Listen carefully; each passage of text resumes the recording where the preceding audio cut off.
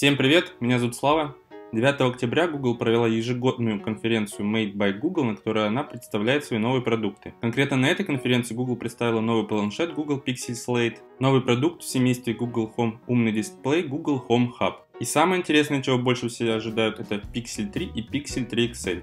Про то, какими вышли новые пиксели, мы говорить не будем, это полная лажа, их слили еще за два месяца до презентации, у многих терможурналистов они уже были на руках. Самое интересное, что представили на презентации, это обновленную Google камеру. Те, кто в теме, знают, что пиксели в основном покупают из их камеры. Несмотря на то, что там установлен всего один модуль, однако Google творит с этим чудеса за счет софтверных решений и искусственного интеллекта. Так вот, сегодня я хочу рассказать, что Google придумала в дополнение к существующим фишкам Google камеры, а также показать, потому что я уже установил новую Google камеру на свой Google Pixel 2, даже несмотря на то, что Pixel 3 еще не вышел в продажу, а камера от него уже есть в сети.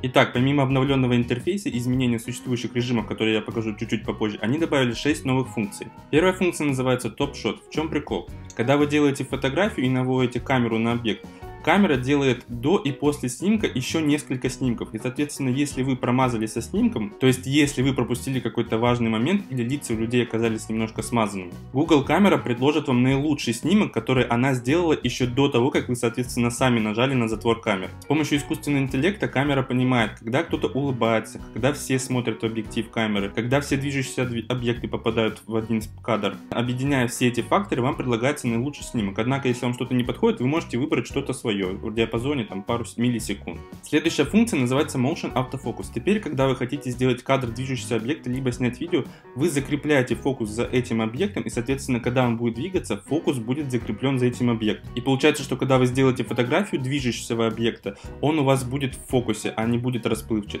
Третья новая функция, которую они добавили, называется Super Res Zoom. Чем прикол? Так как у пикселя установлен всего один модуль камеры, а не несколько, соответственно, когда вы хотите сделать зум фотографии, то есть приблизить, у вас осуществляется цифровой зум, а не оптический, например, как на iPhone. Из-за этого у вас теряется качество. Что придумали в Google? Они взяли технологию из астрофизики, когда ученые снимают далекие планеты. Когда вы делаете снимок с приближением и нажимаете на затвор камеры, у вас осуществляется множество снимков с разной экспозицией. И в чем идея? Объединяются все снимки в один с разной экспозиции, и тем самым повышается четкость изображения. И несмотря на то, что в пикселе установлена всего одна камера, с этой технологией снимки с приближением будут примерно такого же качества, как с оптическим зумом. Четвертая новая функция называется Night Sight.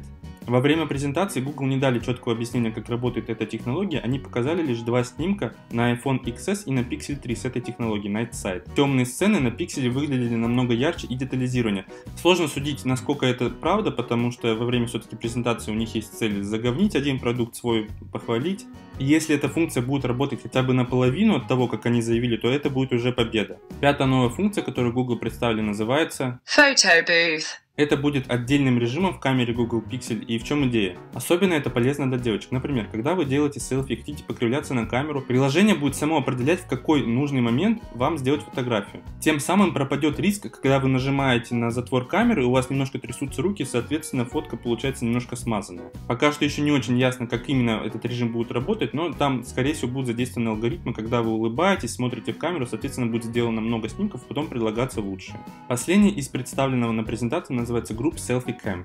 К сожалению, эта функция будет относиться только к Google Pixel 3, в отличие от всех остальных, которые я перечислил ранее потому что предыдущие функции завязаны чисто на софте и на алгоритмах, а эта функция, к сожалению, зависит конкретно от камеры телефона. В Google Pixel 3 установили две передние камеры, одну обычную, а другую с широким углом. И соответственно, когда вы хотите сделать групповое селфи, вы можете выбрать между обычным режимом и режимом с увеличенным углом.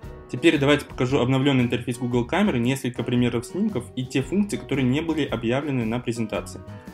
Главное изменение в новом приложении, теперь у нас режимы меняются не в меню, а свайпом слева или справа. Но в чем удобство, вы можете менять вот так вот быстро, проведя снизу по режимам, и соответственно не нужно листать вот каждый раз так заново. Я хочу вот панораму перешел, теперь перешел видео. Это удобно. Из того, что кардинально новое, теперь добавилось у нас RAW режим. То есть у нас фотографии делаются одновременно и в RAW, и в JPEG. Давайте покажу. Вот мы делаем фотографию. Итак, давайте посмотрим. Вот у нас фотка. Она весит 2,7 мегабайта. Теперь перейдем в RAW режим. и смотрим, что эта фотка уже без э, обработок, она весит 13 мегабайт. Соответственно, этот режим сделан для фотографов, которые хотят обрабатывать свои фотографии профессионально. Также у нас изменился режим панорамы. Раньше ее нужно было снимать по точкам, теперь же это слайд. Можно листать влево и вправо. Давайте покажу на вот таком вот простом примере, как происходит интерфейс. Ну, вот так вот. Не очень хороший пример, но тем не менее. И вот, как видите, склеивает он очень хорошо. Давайте покажу на хорошем примере. То есть я заснял. Склеек вообще практически не видно. Ну, точнее, их вообще не видно. Вот. Качество относительно хорошее, если рассчитывать, что это панорама. Также в панораму они добавили еще и запись звука. То есть, когда вы делаете вот такую вот обычную панораму, сверху у нас есть значочек микрофона, и, соответственно, когда вы производите снимок панорам, у вас записывается звук, который происходит вокруг. Давайте я включу вот эту панораму. Вот у нас идет панорама. Подложу к микрофону. И слышите звук э, ветра, дождя, который был в момент, когда я записывал эту панораму. И последнее из того, что доступно уже сейчас, добавили новые фишки в портретный режим. Давайте перейдем в портретный режим. Кстати, добавили дополнительный режим для ретуши. Теперь у нас есть отключенный режим ретуши, естественный и мягкий. Я проверил, там качество достаточно минимальное, но для девочек сойдет. Итак, давайте сделаем портретную селфи. Перейдем. Обработка теперь, кстати, происходит намного быстрее, нежели чем это было ранее. Итак, смотрим. Мы в приложении Google Photos сделали портретный снимок. Что теперь добавили? Теперь мы можем менять блюр на фотографии. Это называется глубина. То есть давайте я сделаю блюр маленький и буду постепенно увеличивать. Видите, размытие увеличивается. Также теперь можно делать постфокус на фотографии. То есть я делаю фокус в один угол, теперь другой на меня. И, соответственно, могу регулировать блюр, который я хочу. Также добавили выделение цветом.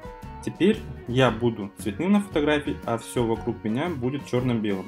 Давайте поменяем фокус. Теперь вот так, видите, происходит. То есть все зависит от фокуса. Это все, что я хотел рассказать про новую Google камеру, новые фишки. К сожалению, сейчас еще доступны не все фишки, потому что нужно подождать какое-то время, когда выйдет новый Pixel 3 и будет доступно обновление полноценной Google камеры. Но то, что доступно уже сейчас, я хотел с вами этим поделиться.